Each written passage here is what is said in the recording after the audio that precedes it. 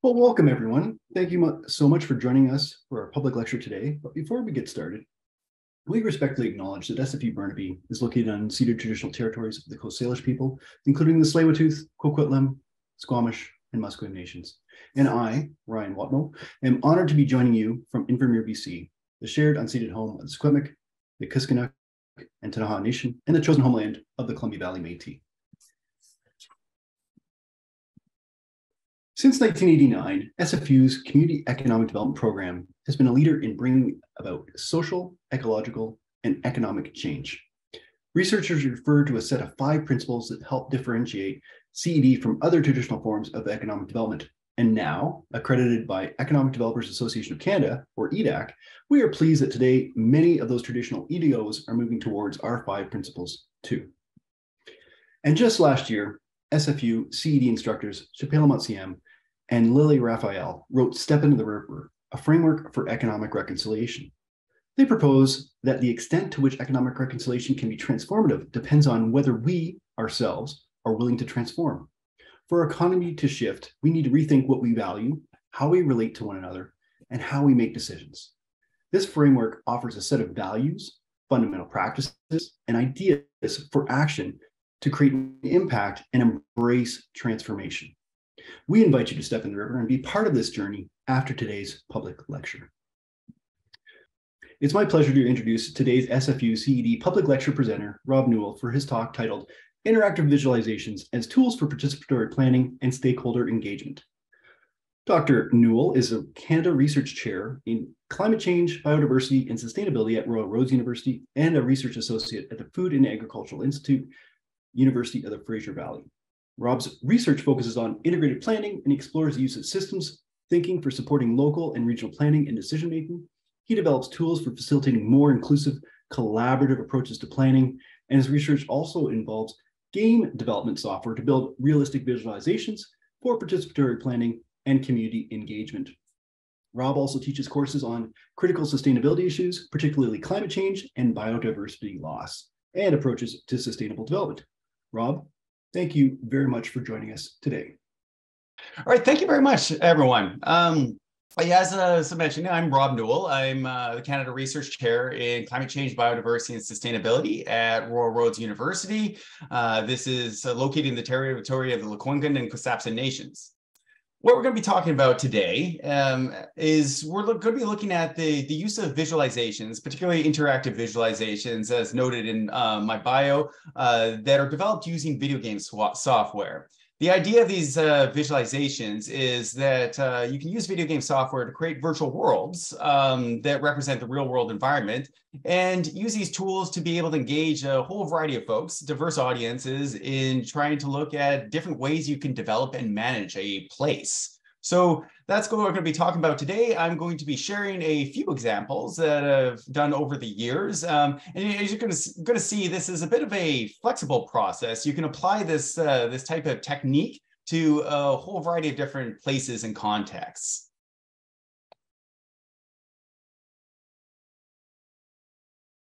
Before we go any further, um, often when people ask me what I do for my research, um, my research chair title is uh, climate change, biodiversity, and sustainability, but that's a very broad umbrella. So when people ask me specifically what I do for research, uh, generally my response is integrated planning and policy. Now, what does this mean? Well, the way I describe it is integrated planning policy is using systems perspectives to be able to understand how a certain plan, program, or strategy fits within a whole variety of social, environmental, and economic factors. Uh, um, for instance, if you were to think about how to uh, develop a trail system. Um, the strategy there would be you're developing a trail system so you can increase access to recreation, you can uh, maybe encourage active transportation, reduce uh, vehicle traffic on the road. But you can also take a perspective of saying, how do we integrate this with other objectives such as uh, green space and uh, local biodiversity and habitat? So perhaps maybe we can create a trail system that integrates with um, greenways, uh, green networks, and improves ecological connectivity, um, we can maybe strategically implement it in ways that also creates buffers and protects water areas too, um, our freshwater bodies. So, with this sort of perspective, um, a lot of what uh, my research ends up doing is creating stuff like this systems maps, where we can figure out if you're to implement a strategy, what are the outcomes of it? Where can you experience co benefits, multiple benefits? And also importantly, where are the trade offs? Uh, they're not all win win situations. So, if we're to do a particular strategy, uh, where might it uh, um, uh, achieve or align with a variety of social, environmental, and economic objectives? And where might you see those tensions?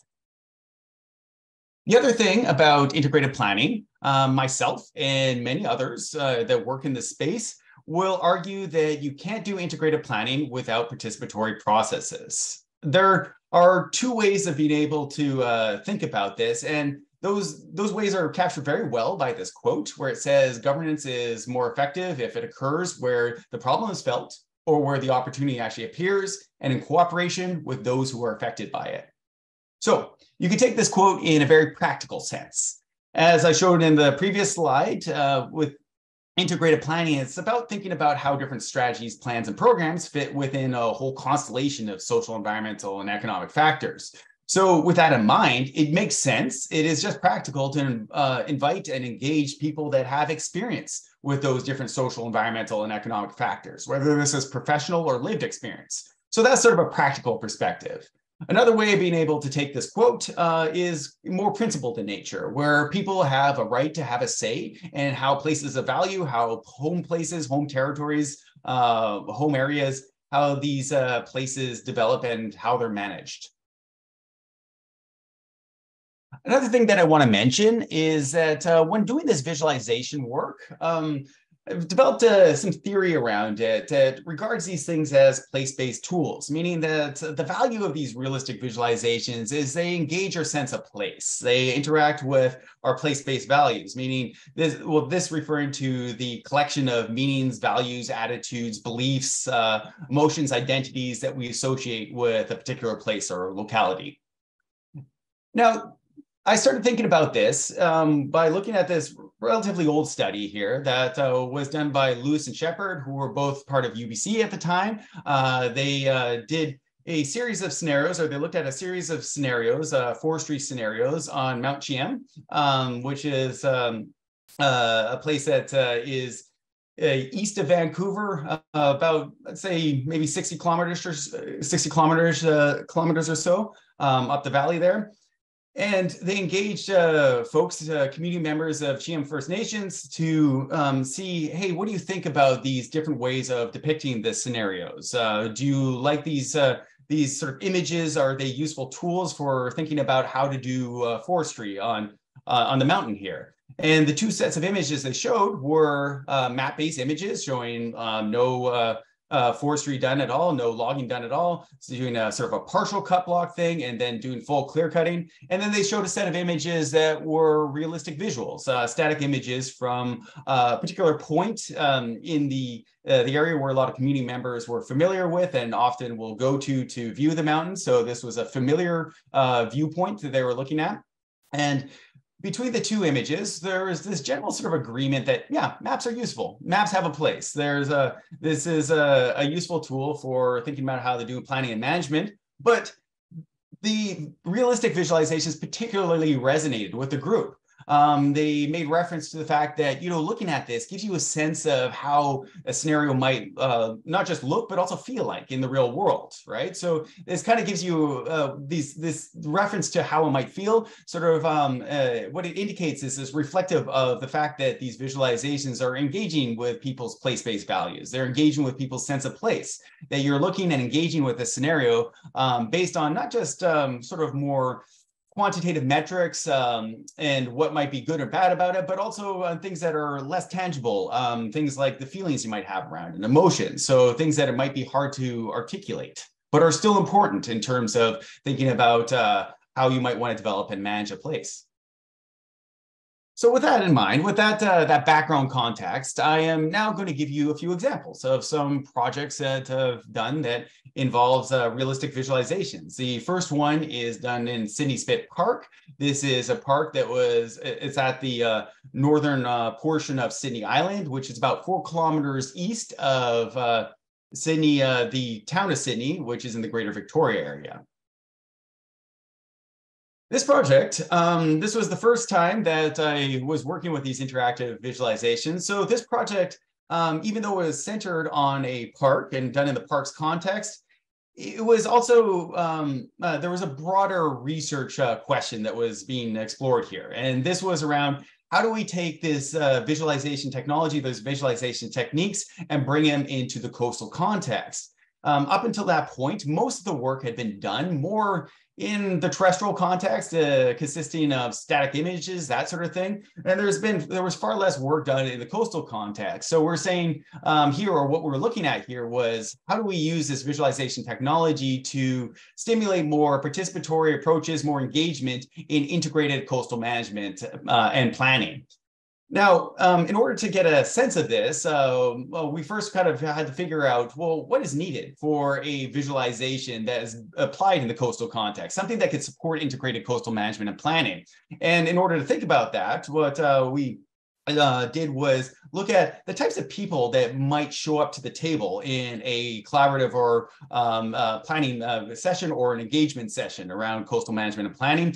And to do this, we used a uh, cultural models framework. So this was uh, something that was developed um, by a researcher named Thompson back in 2007. So it's fairly old and it's not exhaustive of all the cultural models out there. But what it does is it loosely describes different types of relationships people have with coastal places um, and uh, it describes this like with respect to like coastal property or or coastal coastal spaces.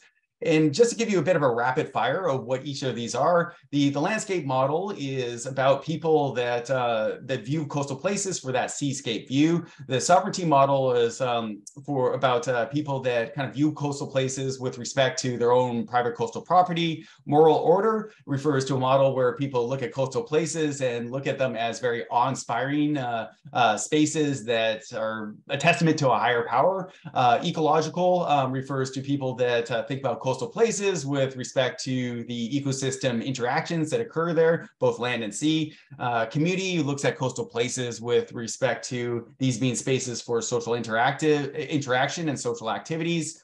Uh, productivity looks at coastal spaces, uh, places with respect to uh, the resources that these places provide. And commodity has a focus on coastal places with respect to uh, the property values there. And there's often fairly high property values in these sort of coastal areas. So those are the different uh, cultural models that were identified by Thompson. They're not exhaustive and they're not mutually exclusive. People can have pieces of one or the other, but it just gives you a bit of a, a sense of the different types of perspectives and relationships people can have with place. And with this uh, framework, I did a review-based study to kind of think about then how would people conceptualize these places? How would they mentally imagine them? And with this understanding of how they would mentally imagine them, what's important for a visualization in order to be able to be able to speak to these variety of different people um, in order to be able to allow them to engage with different scenarios, uh, find areas, see areas that might be in somewhat their blind spots, make sure that uh, they can in, engage and see sites that are important to them. Some of the things that really came out of this uh, this research is what we found was that uh, we needed a visualization that allowed people to explore the viewshed from multiple examples because, or sorry, from multiple angles, because uh, views, seascape views seem to be a fairly important part of uh, at least a couple of these cultural models. And the other thing was that we found was that there's a lot of blind spots within with respect to the underwater areas, right? So people often think about uh, coastal places where they mentally imagine them, um, which makes sense. Uh, they think about them in terms of terrestrial spaces, but in order to do integrated coastal management, you have to think about them in terms of uh, interconnected land and sea domains, which means that we needed a visualization that wasn't static, something that people could walk around, something that allows people to cross the land sea interface, something that also allows them to explore the viewshed from multiple angles to see how certain development or management scenarios might impact it from various perspectives. In order to do this, uh, we used a software called Unity 3D. Uh, this is video game development software, and this is where we end up developing the virtual environment um, with all the dynamic elements in it. It is a uh, visualization that's supposed to represent real world places. So we start uh, with GIS software. So this is um, uh, where we organize our spatial data, um, create maps, uh, and then we take those maps, uh, arrange them in Photoshop, add some textures on them, and then uh, plot them into Unity 3D to guide the uh, placement of different objects and elements in the visualization. So that's that's kind of the general workflow that uh, that happens within these uh, visualization development processes. Now, I'm not going to go into too uh, many of the details around how to develop the visualization, but I'll just give you like a sense of the, the types of things that happen here. The very first thing that needs to be done is that you need to create terrain for people to walk around. And generally, there's two different types of terrain that I've identified that are important for this. There is this uh, navigable terrain. Um, the the smaller segments that people can walk around they're smaller segments because you need a high degree of detail on them uh, so uh, people can walk around and see uh, different things like surface textures and objects from this first person perspective. They're going to be right next to these elements. So there needs to be this high degree of detail. And then you have a viewshed terrain, uh, terrain that uh, exists outside of these navigable, navigable segments that people can't walk on, uh, but serve as part of the, the background views as people walk around that form that viewshed. Then, and you see in the, the top right-hand corner here, um, one of the next major steps is then trying to map the different elements that you will see in a visualization. This can be done through field work. Um, it could also be done by collecting uh, current spatial data that's already available. Um, and ultimately what happens is you arrange these maps in a GIS program, uh, bring them um, through that workflow that I was uh, that I showed you, bring them through into the gaming engine environment. You plot them onto terrain surfaces, and this allows you to uh, put different objects in the places that they would appear in the real world. So they're spatially relative to one another. Um, and it represents a real world uh, place and space in that respect. It's very easy to do for static objects, things that don't move, but you have to kind of think about different approaches for dynamic objects. And that includes things like where people are, um, where they generally walk, where you see things like gulls, uh, boats, uh, how, how much boat traffic do you generally see around Sidney Spit, so there are, you know, multiple different uh, methods for a lot of these dynamic uh, objects, and often you, um, well, at least I found that I needed to come up with a method uh, depending on what the the object was. The final piece I want to talk about uh, before we we move on um, is uh, the the this uh, Sidney Spit visualization also included a soundscape. So this is what you're looking at in the bottom right hand corner. What you're looking at uh, are these these boxes uh, that um, trigger sounds as you walk up to different objects. In this particular case, if you walk up to this person, they will say hello to you, uh, and the dog will bark. So you have these sounds that um, allow people to engage in the visualization uh, in through multiple senses. And uh, you also have ambient sounds like the sounds of waves, uh, have sounds that are uh, associated to location so that they're, uh, you can experience them in 3D, like sounds of boats and gulls. Uh, they get louder the closer you get the important um, element to, or the important aspect to highlight here is we add a soundscape because people do engage in scenarios. They assess whether they like certain development or management uh, options based on um, multiple senses, not just the visual of it, but they also want to be able to assess these scenarios based on uh, certain sound things, whether there's things like noise pollution. And I'll, um, I'll be able to speak to that a little bit later. So with that said, um, I think it'd be worthwhile just to show you a video of how this Sidney Spit visualization looks. So this is a user that is at the home screen. In this particular case, they're clicking H. They're going uh, for a high tide scenario. So they're going to explore the visualization through uh, as, as it would be at high tide. This is a, currently what you're seeing right here is that that was the visitors area. Now they move beyond the visitor area and they're just walking up the spit.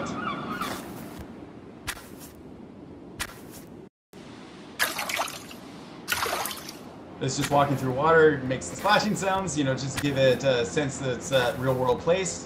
As mentioning, people need to be able to walk across the land sea interface, be able to understand these as interconnected domains, we're looking at eelgrass meadows, so there's a lot of eelgrass around there, and the eelgrass meadows form important habitat uh, for things like Dungeness crabs. You might have noticed a Dungeness crab there.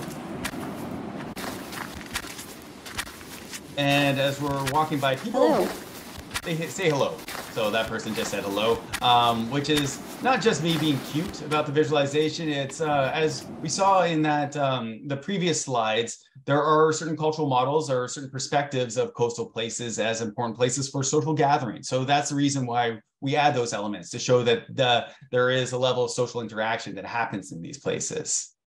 So after creating the model, the base model, the next step is then to create some scenarios um, in order to figure out what scenarios uh, might be relevant in order to create a tool that was actually useful and not just something that was interesting as far as a research project. Um, engaged uh, Parks Canada to ask, what are the current issues, uh, the management environmental issues that you're experiencing in the park? And what sort of scenarios could we possibly explore um, that would be interesting to look at from a collaborative management and planning sense.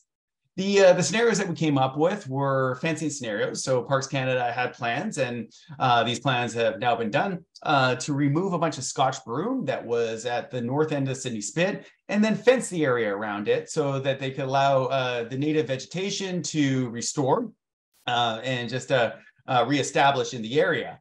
So in the fencing scenarios, what, what we experimented with here are different configurations of the fence. Uh, they're in different spatial configurations, different styles of fence. So uh, wood, mesh, and a, a, rope fence that's you know not really a fence, but an indication that you shouldn't go in there. Um, and then we also had signs, uh, the do not enter signs, and we experimented, people could toggle on different locations of where that sign will be located.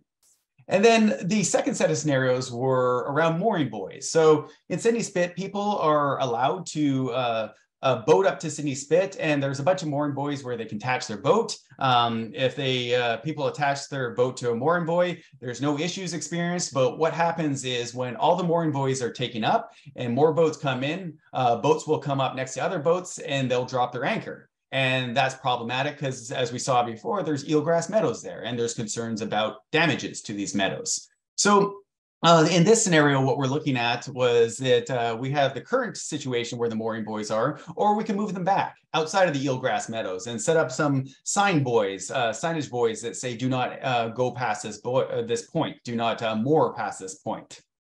And then the final set of scenarios around dog management. Um, dog management is a big issue in all parks. Uh, Sidney Spit has a rule where you can uh, bring your dogs, but you have to keep them on their leash at all times. Otherwise, they bother birds and other wildlife. Um, but as you can imagine, and as seen in other parks, people often don't follow that rule. So we have a current situation where uh, half the people in the park uh, that have dogs um, have them on leashes, um, whereas others uh, do not. And then uh, the other scenarios are no dogs in the park, and then one that was more of an increased enforcement and awareness. Uh, so we have people in the park asking people to keep the dog on the leash and a sign saying, uh, um, when you come into the visitor area, keep the dog on, on leashes. So these are relatively modest scenarios, but uh, it, uh, it made, they were um, really uh, very much relevant to the current concerns um, at, at Sidney Spit. so we wanted to make it as um, as realistic and relevant to real world issues as possible. So let's just take a look at these scenarios. This is the fencing scenario. So that's the wood fence. This is the mesh fence style. And then that's the rope fence style. And as you'll see in a moment, you can have different configurations of the fence, and you can also move the sign around too.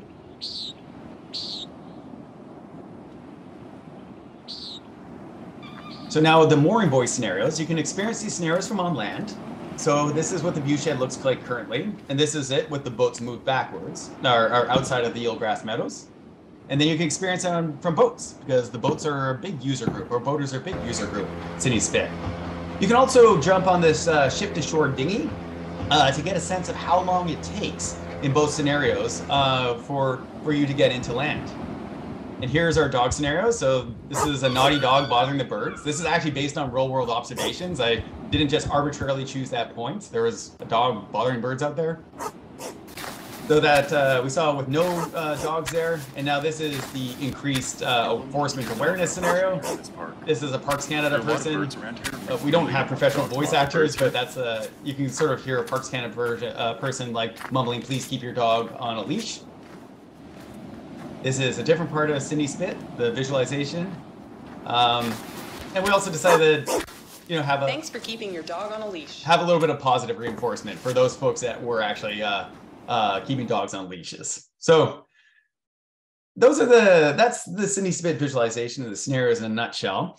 Um, in order to kind of test its ability to engage uh, folks in um, collaborative park management and uh, management planning, um, what we did here was uh, uh invited invite a whole bunch of people in um, the uh, Greater Victoria area, particularly people that live like near Sidney's uh, Sidney. Um, those folks that might have more access to Sidney Spit or might be more aware of it.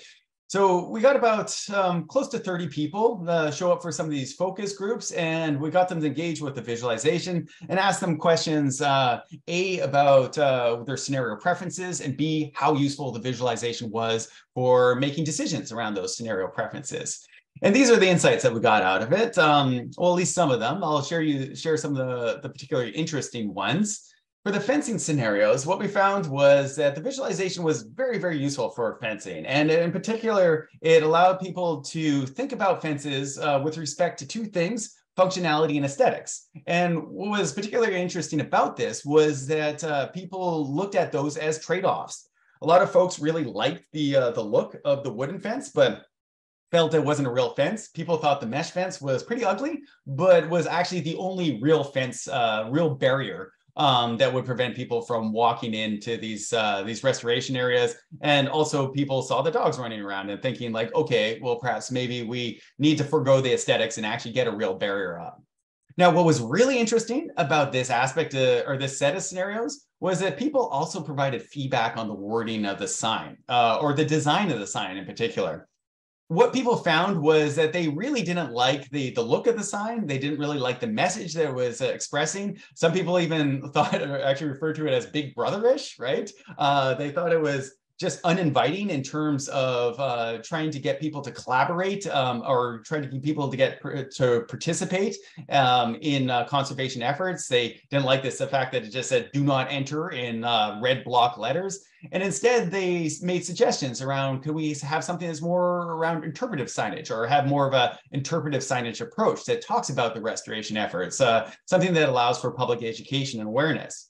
Now, what's interesting about this insight was that this wasn't part of the scenario assessment, or at least wasn't part of the scenario assessment that I uh, that I, I asked folks about. It wasn't a thing that I asked them to assess. But when you model things to this level of detail and realism, what you're actually doing is you're opening up new opportunities for people to assess parts of uh, the scenario, assess, assess aspects of the scenarios that you didn't initially intend for them to do. Now, in the uh, mooring buoy scenarios, a couple interesting insights from here. The ability for people to explore the underwater environment allowed them uh, to appreciate the, um, the, the fact that there needs to be eelgrass protection and gave them a greater appreciation for why we would uh, move the mooring buoys back. That was uh, an interesting and also a heartening finding. So it expanded people's uh, vision and conceptualization of coastal places. The other thing was that uh, the this is I was mentioning this before. Uh, in this scenario, people uh, found that the sound really contributed to their ability to assess whether they liked or didn't like a scenario. So some folks liked the idea of the um, uh, boats being moved back to protect the eelgrass meadows, but they didn't like how much longer it took for this, the ship to shore uh, dinghy to, uh, that travel. How much longer it took for that travel to take because. Um, in that sort of sense, as you might remember from the video, the uh, the ship the, the, the dinghy makes noise and they were concerned about the increased noise pollution. So i think it was uh, about a minute or so in the current scenario but it took about two minutes and 20 seconds for them to get to shore in the uh, the secondary scenario the second one where the mooring buoys are moved back the final piece around dog management, uh, what we found was that there was mixed feedback on the usefulness of the visualization. A lot of people have pretty locked in opinions on whether they like dogs in parks, but also it was the least spatial of the uh, the scenarios. Um, it was one that was really could happen anywhere in the park. So it kind of goes to show that these visualizations do actually have some value for uh, assessing spatial features as well as uh, place-based features. Then the other thing that I, uh, we found, and this was quite interesting, was that we use the visualization in some of the focus groups to explore alternatives. So we could say, like, let's look at a perhaps maybe where an appropriate off-leash area would be. And that's really cool. So what we're looking at here is the ability to be able to navigate in the virtual environment, have that free movement, allows people to suggest other options. Uh, it doesn't constrain them um, in terms of uh, their feedback on the types of uh, scenarios they'd like to see and uh, the types of scenarios they like or don't like. They can provide um, uh, alternatives and other suggestions. So that's the first project. And now we're going to move to a, a, very different context. Uh, we did a, did a visualization project um, called Spaces, Places, and Possibilities in the, uh, the city of Squamish, which for folks that aren't familiar with Squamish is about 50 kilometers north of Vancouver.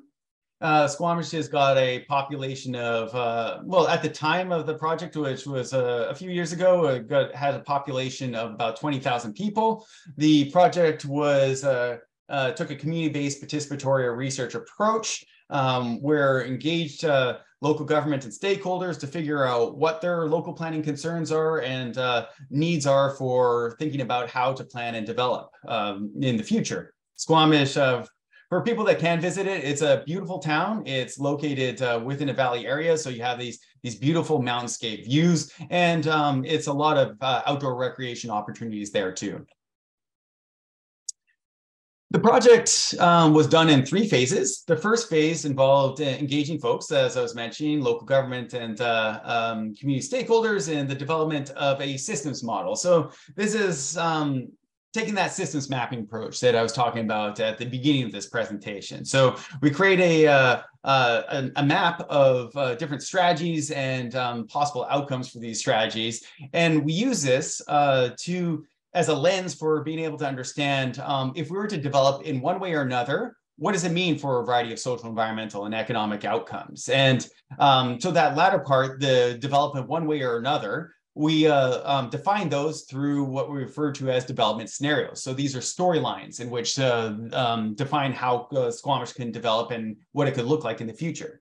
Then phase two involved a integrated modeling and analysis of community scenarios. So this was done mostly using um, uh, ArcGIS and R statistical software. And the idea was uh, we use a systems map as a guide to uh, do a bunch of calculations, um, a bunch of analysis of the scenarios, to understand uh, you know what are the uh, the different sort of outputs or outcomes based on a whole variety of indicators uh, if we were to develop in one way or another Phase three involved creating communication tools. So phase two was useful for getting some insight on the implications of developing one way or another, but it was a lot of data. It, it was very, very complicated, complex set of data. Um, we're looking at something like 350 lines of data. So we created these communication tools, uh, namely a visualization, uh, as you can imagine, that's the topic of the conversation here, and a model explorer, a way of packaging uh, the model outcomes in, in uh, ways that people can look at them and engage with the different outcomes and the different aspects of the model. And I'll show you both of these in a moment here.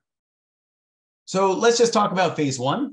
How was uh, this model developed uh, in collaboration with the community? Well, it involved two focus groups. The first one was a bit of a scoping session. Um, that's probably the best way of putting it, where uh, we engaged folks at uh, the, the districts of Squamish, so the, particularly the planning department, to get some rough ideas of what community development scenarios could be. And uh, by, by that, it's this idea of like what would be realistically uh, done here, what's um, currently involved in the plans in terms of different development paths and trajectories. We also wanted to get a sense of which neighborhoods would be useful for applying these scenarios so that we could do this in the, uh, the GIS modeling work.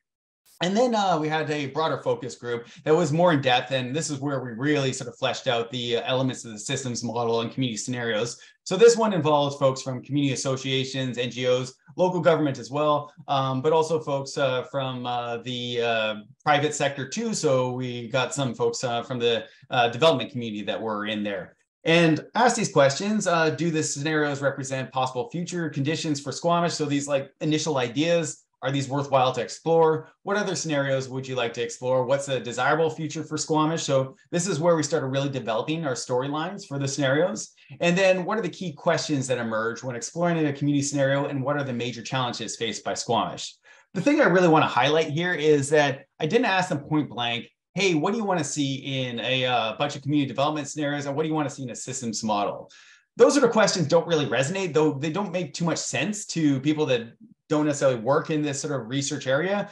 Um, so in, instead, you ask questions such as, you know, or use terminology such as, what are possible futures for Squamish? What's a desirable future? What are the challenges you're experiencing here? What are key questions? What are the things that you value and you want to uh, see maintained as we move forward?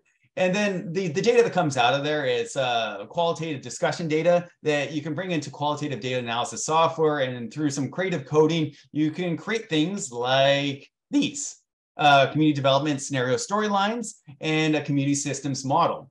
So this is, uh, you identify this and tease this out of the, the discussions you have there. Now, the uh, community development scenarios, um, just briefly, uh, I'm going to describe them as low, medium, high density scenarios, but the storylines are richer than that. That's just sort of the shorthand of them. So we had uh, ultimately through a couple uh, workshops and processes, we whittled things down, and these are the, the storylines that we ended up exploring. Now, I'm going to talk briefly about phase two. I'm not going to go into too much depth about it, uh, uh, but I think it's worthwhile at least to touch upon. So phase two involved the quantitative modeling piece where um, we use that systems map to um, guide our modeling process. The, the systems map, there's two major things that the, the community um, really wanted to focus on in the, uh, the systems model. One is that Squamish is experiencing really rapid population growth. At the time, as I was mentioning, it was about 20,000 people, and they projected in under 20 years, it could be up to about 34,000 people. That's that's a lot of population growth, and that's just a medium growth projection. Um, and the other the big major consideration is that's a lot of population growth in a uh, place that's in a valley area that has limited places to expand to. So there's these concerns about how do we use residential space, commercial space, agricultural space, green space? How do we develop uh, all of, in uh, the community with these different land uses and um, and considerations in ways that provide uh, this this new population places to live, work, and play, and also incorporate things like uh, um, ecological values, uh, um, a variety of social values, and economic values. In order to do this modeling, um, what we did was uh, we assumed that uh, we're going to follow that medium growth trajectory, and we targeted a future population of 34,000 we started then with a baseline scenario where we mapped out like a lot of things. Um, this is talking about residential, commercial spaces, amenities, schools, uh, parks, uh, agricultural land, a whole variety of things based on uh, the, the systems model that we developed through the, the initial phase. Right, so we mapped out a, a ton of things. This is the current conditions of Squamish, and then we added a few uh, added uh, um, elements to make a future baseline scenario. So the future baseline scenario looked at all the approved development that was there. And um, the with approved development, uh, this allowed us to get a sense of this is what it's going to look like in the future. We still have a certain amount of population that needs spaces to live, need places to live. So how can we distribute this population in various ways uh, based on the, the three storylines that we wanted to explore. So that's sort of how it worked. We created a baseline um, of the current conditions, a baseline of what things would look like in the future. And then uh, we sort of did a bit of a SimCity thing where we just kind of uh, ended up doing different configurations and mapping out different land uh, uh, space and land uses based on these uh, sort of um, these, these storylines that we developed. And I have a video here of the Squamish Model Explorer, but I thought it might be just more interesting to just jump in there and show you it. So uh, as I was mentioning, there's two communication tools that were developed out of this, uh, this project. One of them was just a way of packaging the, uh, the outcomes, the, the uh, considerations in the, the, the scenario or the integrated model and the outcomes there. And this is something that's online. It's available. Anyone can access this. So it's just something that is developed in HTML5. It's just an interactive online piece. As you can see here, I've just entered the Model Explorer. Um, there's three sections. You can learn about the model. Uh, I'm going to go through this fairly quickly because this is something that we've just chatted about. Uh, in this learning about the model, you can learn about the different scenario storylines. It also talks about how the uh, systems model was developed and what's in here. It talks about the uh, the mapping of the different baselines, and then it talks about mapping the modeling of the scenarios based on this medium growth trajectory. The other element of this, the other aspect of this is that you can explore different maps. Um, how do these things look like if they're implemented in the real world environment? So you can go into the different neighborhoods and take a look at these maps. And this is uh, what redevelopment might look like under these different scenario storylines. And the final section is the actual systems model itself, like the, the main substance of the whole model, um, where you can scroll over these different elements. You can see the linkages between the different elements, how this uh, system model works. And then you can go into um, any one of these, these pieces here. So I'm going to go into maybe access to amenities. And as you can see, when you uh, go in here, it gives you a description of what the indicator was, how it was calculated. And you can scroll over to see some data um, on, uh, behind the graphs here. So this is basically how you engage with the, uh, the, the Model Explorer. Now, importantly, I want to I want to mention something to you. In uh, um, most of these elements here, you'll see a link to Squamish indicators. So when you click this, it actually opens up the Squamish Community Performance Indicators. And it uh, scrolls down to, to work that they're looking, stuff that they're tracking here. Now, the reason why this is important is because we really wanted to make this research project relevant to the things that they care about. We wanted to make it useful to them. So this element shows that say, hey, this model isn't, isn't just for fun. These are things that you're actually tracking. These are things that you're looking at as part of your official community plan. So wanted to highlight that piece there. Now, um, the, the next part of it was creating uh, the scenario visualization. Now, in the uh, the mapping part of things, because we've already done the the mapping, um, we already had these maps, like I was mentioning before, the, that workflow where you use object maps to create the the, the visualizations in the video games uh, environment. We already had these maps to work with, and basically took the maps that we used in the integrated modeling process and brought them over into the video game uh, video game environment and use it to guide where we put objects and different elements to create these scenarios. And I will just now show you what this looks like. Once again, I do have a video here, but I thought it might be just more interesting to look at it in action. And just give me one moment here. So I just turned up the volume on it. I had it muted because there's bird chirps. Otherwise, that could be quite distracting. So I'm just entering one of the neighborhoods. There's two neighborhoods that are featured in this visualization. As you can see, you enter the neighborhood and you can walk around in it. Um, the uh, you got a 360 uh, uh, degree view of everything here. You can toggle on, this is the baseline right now. This is the current conditions, but you can toggle on the different scenarios. This is our low density scenario. It's not a no change scenario. It just means that we keep that low density residential form. This was part of the medium density scenario. And this is our higher density scenario that adds more commercial uh, space. And uh, you, as you can see there, there's a bunch of buildings that have apartments on top and uh, commercial bottom floor.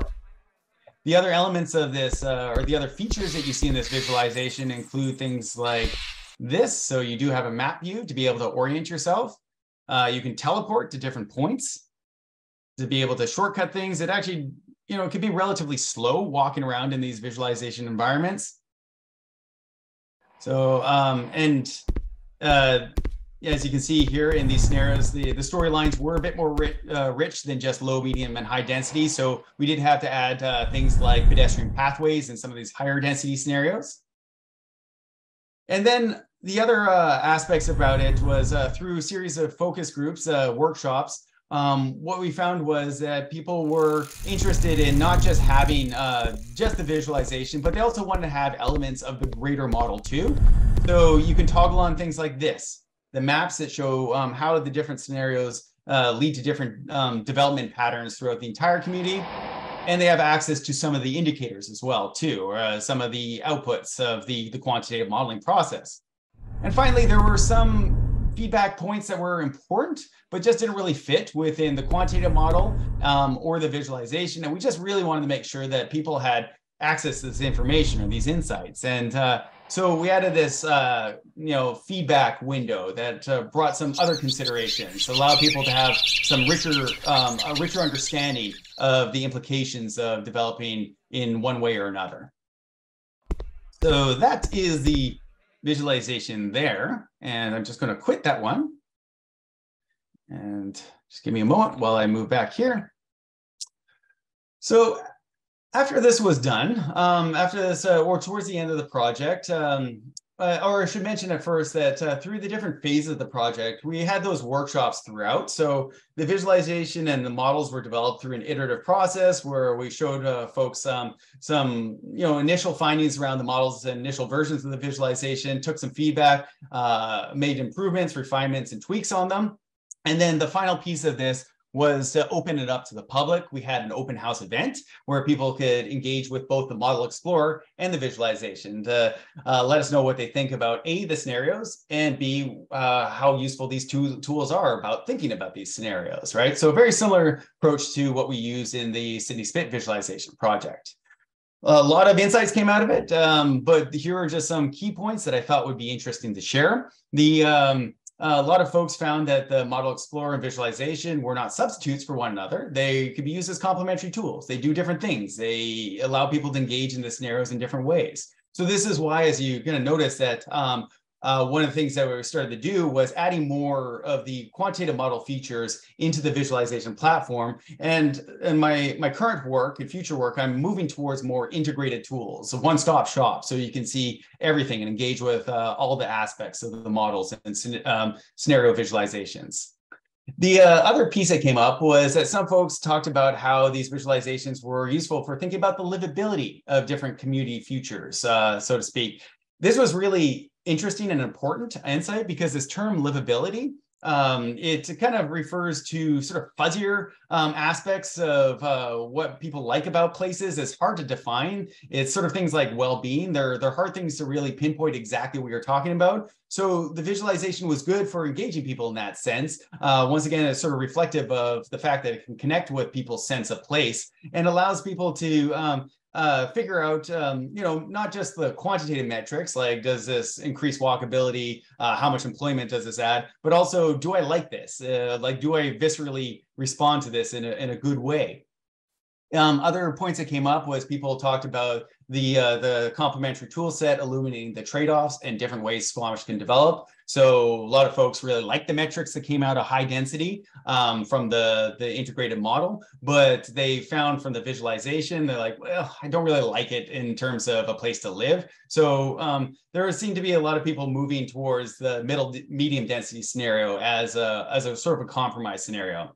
And the final piece was that people found that uh, these tools were useful, um, particularly the visualization for understanding the limitations and opportunities with space and land use. So this uh, speaks to an earlier point about the fact that these visualizations are useful for assessing things through a spatial perspective as well as place space. So we're getting uh, close to the end here. This is um, uh, a shorter uh, piece of the presentation, but I do want to share some more recent work that's been done or have uh, come to the, just recently come to the end of this project. There's a visualization done around uh, on Mitlenatch Island, which is a small BC park island located about uh, 20 kilometers east of Campbell River. It's only accessible by water taxi, so not very many people visit it. It doesn't really have much in the way of um, pedestrian traffic and uh, visitor traffic. For this one, we started realizing that there's just a lot of features that you can put into these visualizations. When you're using video game software, we're pretty much just scratching the surface at uh, what this, the software can do. So we wanted to experiment a little bit and say like, why don't we create a visualization as a starting point, um, like that just has a whole bunch of features in it, and then ask folks, hey, what sort of features do you want to see in a future visualization? Where do you want to take it next? What should we focus this on with respect to management scenarios? So trying to keep things a little bit more open. Uh, the folks that we engaged were people that um, work on Middle Mitlenatch Island uh, and have relationships with it. So this involved uh, um, BC Parks, First Nation, a local First Nation uh, community and community members there, and uh, Mitlenatch Island Stewardship uh, Team, the MIST team. And uh, we started off with this first version of the visualization that had uh, a lot of different features and um, then had a discussion afterwards and say like, okay, so where should we take it next? more or less. So this is version one. So as you can see, we're on Mitlenatch Island. Um, and this is uh, this view that we have right here. Well, there's the map view. That first person view is, you can just see a orthophoto drape over the island.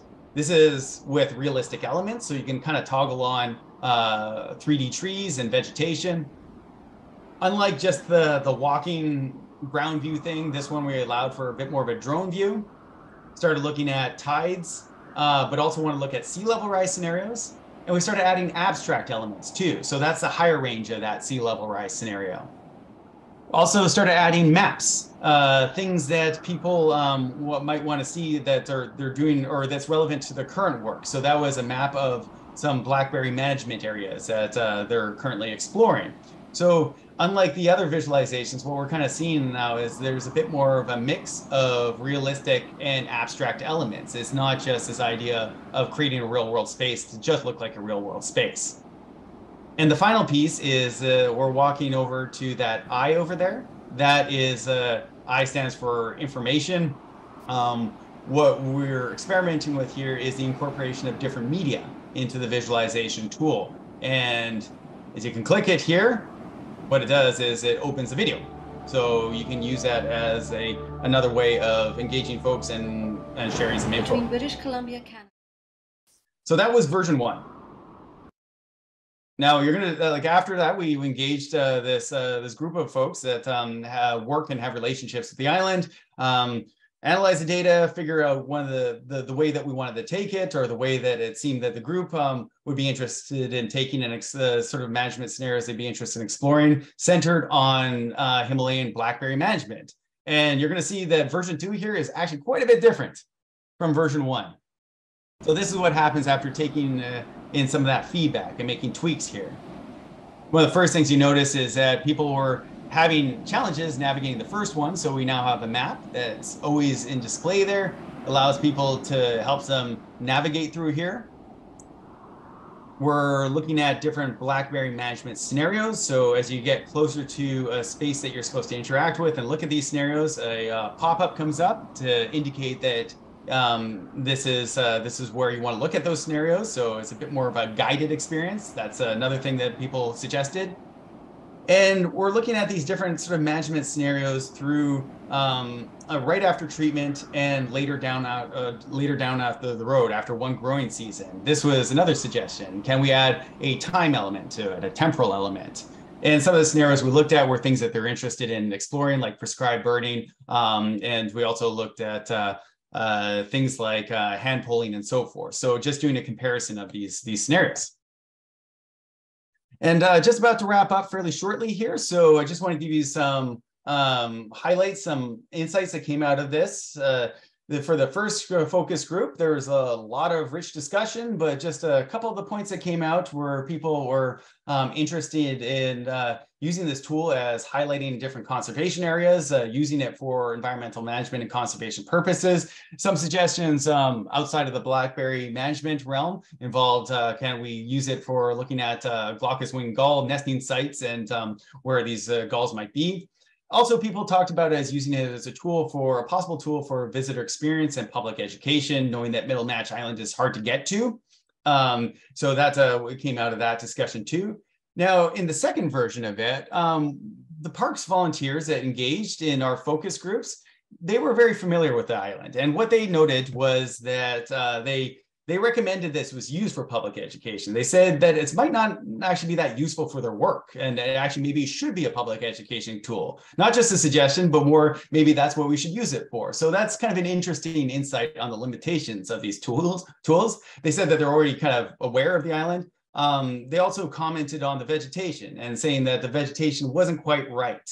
Um, and this is an important thing to note because previous research, uh, including mine, on visualizations and uh, uh, virtual environments uh, research that a sense of place, uh, sense of presence um, notes that if you don't get vegetation right, people don't feel like they're immersed in the virtual environment. And then finally, um, uh, this is my my final piece. I'm just going to wrap up, just giving you uh, some current work that we're, we're uh, doing right now. We're doing a very different project. This is in Revelstoke, BC, in the interior of British Columbia. Um, what we're doing here is we're looking at different food system scenarios And um, we're doing this in a way that we want to look at it uh, with respect to food equity and food justice. So we're using an equity lens. We uh, finished our first set of workshops in December, which engaged in these terms around justice, equity, decolonization, and inclusion, um, asking folks what these terms mean to them, what they mean in the Revelstoke context, what they mean in, with respect to food systems in the Revelstoke context.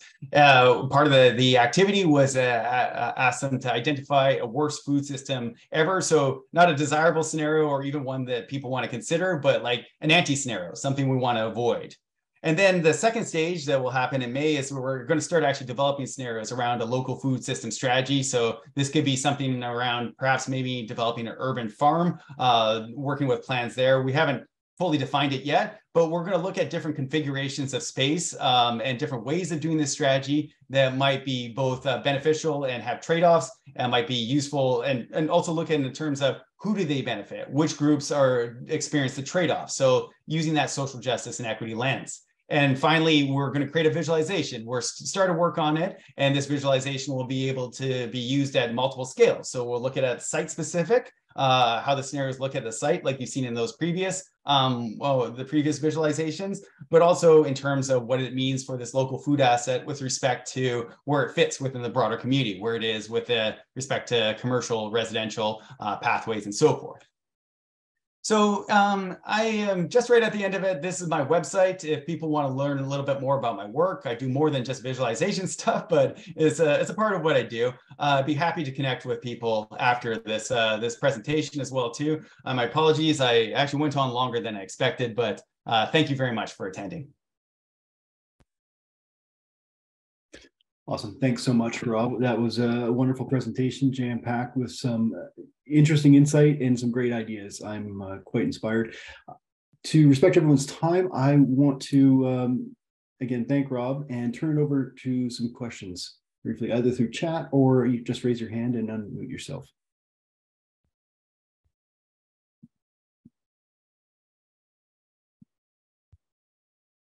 Any questions? Oh, we've got one. Mm -hmm. Go ahead, Warren. Uh, hi. Um, I have quite a few questions. So if somebody else wants to go before me who just has one question, then I, I think I'll wait. Is that okay? Or yeah, that's an that's that's a great offer, Edward. You want to take him up on that offer? Mm-hmm. Sure. Um, first off, thank you for passing the buck like that. I appreciate that. Um, super, super, super specific and, and focused question. I found it really funny.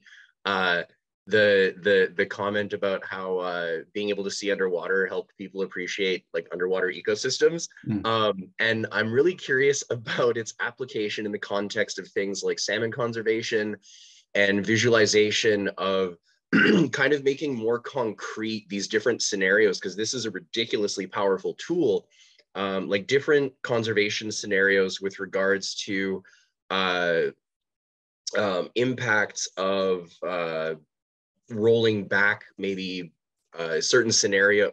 Let me phrase this better. Different scenarios with regards to salmon conservation in the context of uh, adjustments that are made to fisheries management um, with regards to, say, uh, hatcheries um, and just like leaving it the heck alone. So kind of just like having that spectrum um, because I think that might be of utility. And I was just curious if you had any uh, feedback or, or thought about that. Thank you.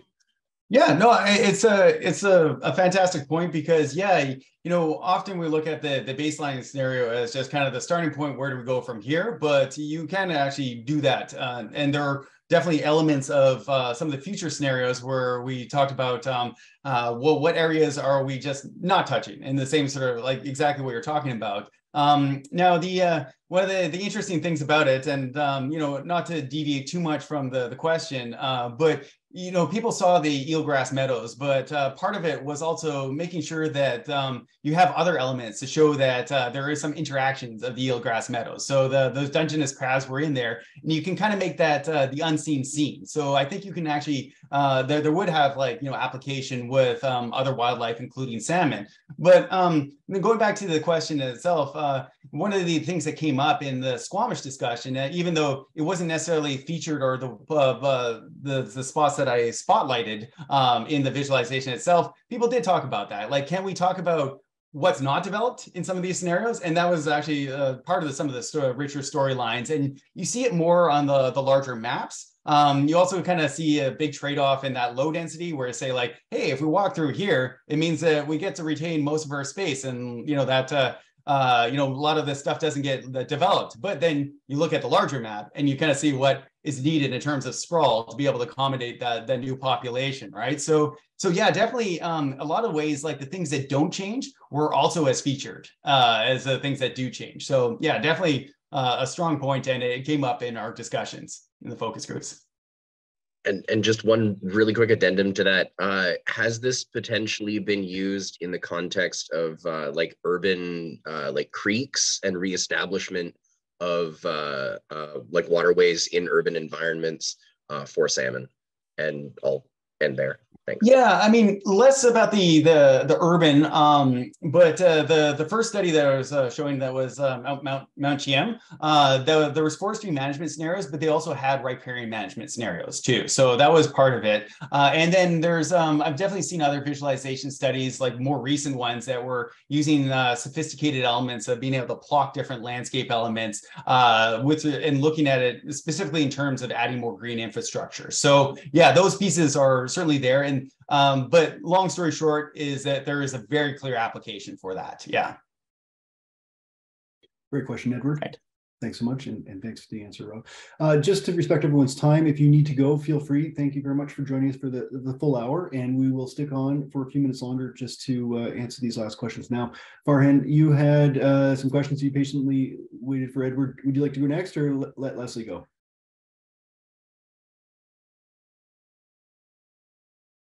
Uh, go ahead, Leslie. Um, I think mine's pretty quick. I'm interested to know who contracted you contracted you to do the work in Revelstoke. And I'm also interested to know uh, what the cost to the municipality of Squamish was for the work that you did. I'm a city councilor in Nelson.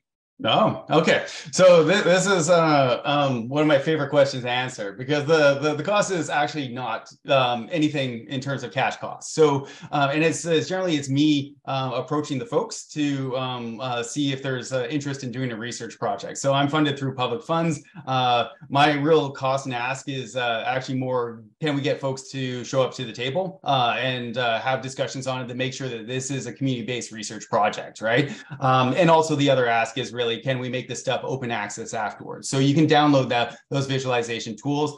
We have to discuss a little bit about uh, sensitive data and so forth. But um, in the case of Squamish, it was me approaching uh, the community of Squamish. Uh, um, also approached another uh, couple communities, but Squamish seemed to have the most interest and uh, need at the time. Uh, and similar, um, Revelstoke, it was actually uh, through um, a relationship with the Public Health Association BC. They know that they were looking at food systems issues and we're working with the community uh, uh, Revelstoke Connection Society or Community Connections Revelstoke Society. Um, who's actually a, a, project partner there too. So we're um, uh, so we're, actually the idea is really just uh, see where the interest is and if we can establish those relationships uh, and be able to co-develop it together. Yeah. Awesome. Just one last piece and then I'll I'll pass it back. But we are at the very beginning of our official our official community plan update. And we definitely want to um, inspire more youth to participate in that. So this to me looks like a tool that would do that. So I'm very interested to talk more about it. Yeah, please, please get in touch with me afterwards. Um, I you can contact me through that website. Uh, definitely my email is on there. Um, I'm actually just happy to throw in the chat too. You know what? I'm just going to do that. Um, and while while that's happening, I can do two things, and somebody else can uh, ask some questions. But I'd love to set up a chat. That'd be great. Great, Leslie. Thanks for joining us and great questions. Brian, go ahead. Hey, thank you. Uh, so first of all, I'm, I'm really happy that that this talk happened because um, I've recently started engaging with the Rotary Club and we're doing some project ideation um, around um, carbon footprint and, and kind of climate change and all. And so uh, one of the ideas that I was thinking about was kind of along similar lines. So it was, it was really good timing that this came up and thanks to Robin that she shared the talk. So my first question is specifically about the, the systems modeling. So mm -hmm. I mm-hmm. see that there's quite a lot of variables and the way I look at it is that you probably have a, a framework that that that uh, takes all these variables and then all these parameters and kind of maps it to the to the visual environment, and then Unity engine does the the the graphics part of it. Um, um, and so you build it on top of it. So the first question is like, in that system, is there any um, uh, parameters for, for let's say population health or like carbon footprint from uh, the different additions to, to, to the system?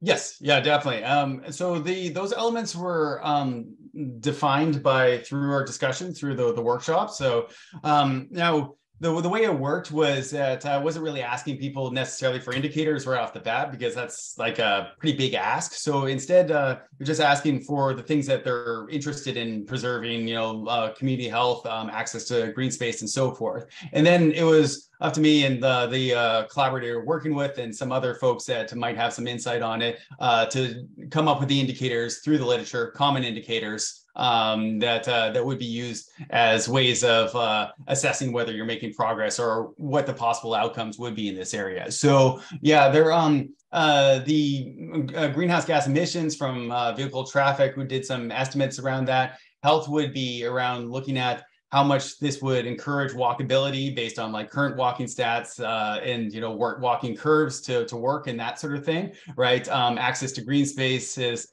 you know, is indicative of, uh, you know, people having um, resources that can, or like uh, local assets that can help with mental health. So that's sort of how it worked, right? We um, first come up with the things that they're looking at, when, uh, what they want for outcomes. Uh, and then afterwards, uh, we kind of figure out what's the sort of data needs that we need to do there.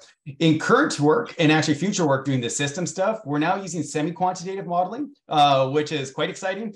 Basically, you create the systems model um, and you don't use real data. Instead, you get a lot of opinions or, or professional knowledge probably an expertise to identify the strengths of the relationships. So afterwards, uh, what you're doing is systems dynamics that kind of show that relatively this scenario would be better for this area, um, but maybe not as good for this area. And what's exciting about that is then you can start bringing in elements that are hard to find indicators and data for. And that's sort of a, as currently what we're working with in a, with a, a project up in the Comox Valley. And we're hoping to use that tool for um, both Revelstoke and, and future work too. Well, that's beautiful. Beautiful. Okay. Uh, so so I'm. Uh, you mentioned something that that the tools are kind of available open source. Like if let's say I had some some some data that I just wanted to like play around with, and like I'm okay with like I'm I work in software, so I'm okay to use like a, framework, like get it from open source. Is there are those available online or uh, on the lab website or something?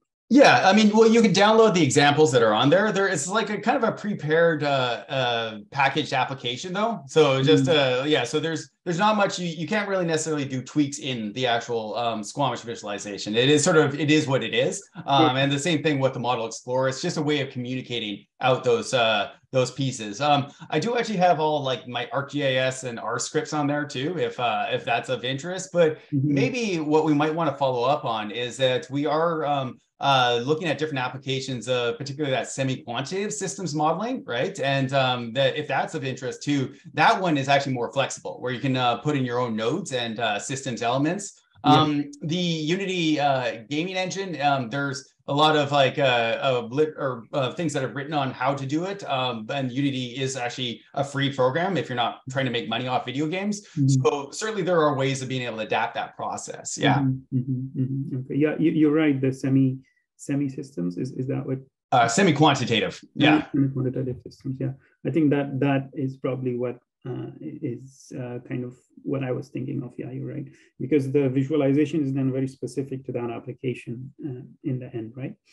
Uh, but but but uh, so so so let's say sorry i'm taking so long so please stop me so how, how much work is it like if if let's say we you you want to model um, a couple of parameters in a new locality, like how much time and, and kind of human effort it takes. And then uh, I guess the cost came up already, um, but um, uh, uh, from from what I understand, you, this is done as a research project under grants. So like if mm-hmm. if if people kind of uh, apply together to a grant or or something like that, but at that for the end user there isn't like a, much of a cost. Is, is that yeah yeah exactly i mean that's that's um uh, the the way that uh, in this particular case, like or like all the the research that I've done has been uh, supported by grants, and we will look at like collaborative grants. So mm-hmm. um, now, in terms of the cost, it's it's an interesting question because after the um, the first visualization I did, uh, that often comes up. People say like, well, you know, is this like super expensive to do?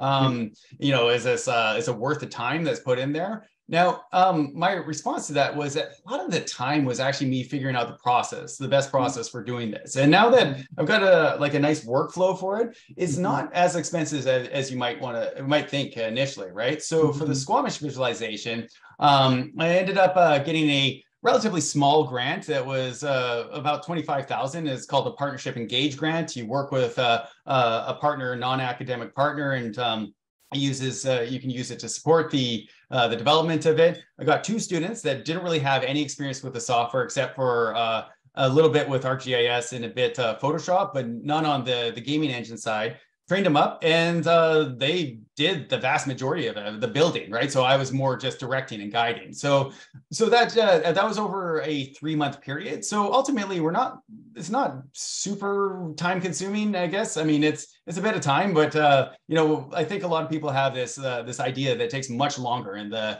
uh, the expense is much higher. I see. Okay so uh, th then like coming to the food system um, systems visualization one. So there is there is some very fundamental um, uh, issues that that have been researched through the for the food system. And I think there's a lot there's a lot of um, um, kind of research on on the quantitative analysis of like how this works and how much how much food waste we see through the through the whole um, uh, supply chain. Like I think Guelph, Ontario did a smart cities um, uh, um, grant that they got from, from Infrastructure Canada to, to look at the food flow. Um, and so those have mostly been uh, analyzing all of that data and then like taking decisions based on that. And in this case, I, I didn't didn't quite capture the, the, the objective of the project. Is it to kind of visualize how the city looks if we change the system or is it like how like what is the visualization aspect of it and what is the quantitative aspect of it? Sure yeah.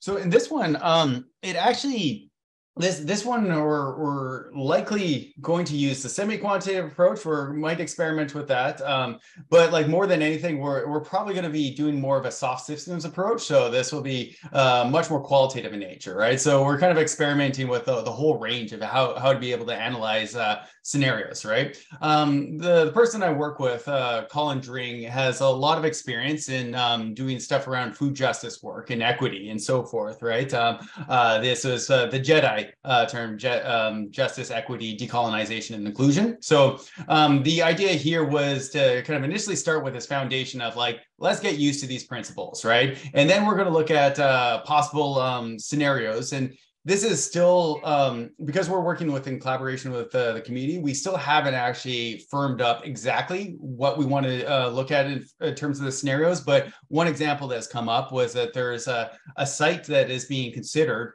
um, for uh, a community farm, right? And then what would this community farm look like? It's actually a fairly large site, so it could also have other elements like green space, uh, trail networks. It can kind of link into the community in other ways, right? And we could look at different con landscape configurations and even different ways that uh, the farm plot is set up uh, just itself, right? And then talk a little bit about the location of this and also the configuration of this does this um, uh, benefit some more than others right? Is there um, uh, issues maybe even around like things like access? Uh, is there issues around um, perhaps uh, the types of like crops that are there? Really getting uh, trying to get people to think um, you know outside of the their their comfort zone or like i guess outside of the the confines that they're usually thinking in right?